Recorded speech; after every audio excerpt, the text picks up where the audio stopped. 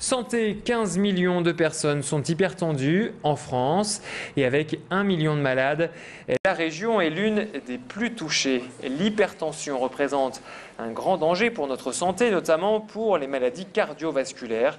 Et c'est même l'une des premières causes de mortalité en France. Aujourd'hui, une association a organisé des dépistages et des séances de sensibilisation dans l'entreprise Bayer Sharing. Plusieurs facteurs augmentent les risques liés à l'hypertension, l'alcool, le tabac, le stress ou le cholestérol. On écoute ce responsable marketing de cette entreprise au micro de notre reporter Rudy E. Silva. C'est important parce que l'idée de ça, c'est que bien sûr ça bénéficie aux collaborateurs, mais également ben, on se dit peut-être ils vont raconter à leur famille, en parler à leur famille, et ça va donner des idées à des gens autour d'eux, de leurs connaissances, d'aller voir leur médecin, et puis eux aussi de se faire dépister.